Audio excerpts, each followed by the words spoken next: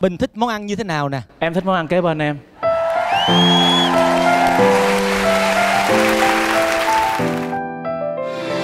Em là ai từ đâu bước đến nơi đây? Dịu dàng chân phương Em thích món ăn kế bên em.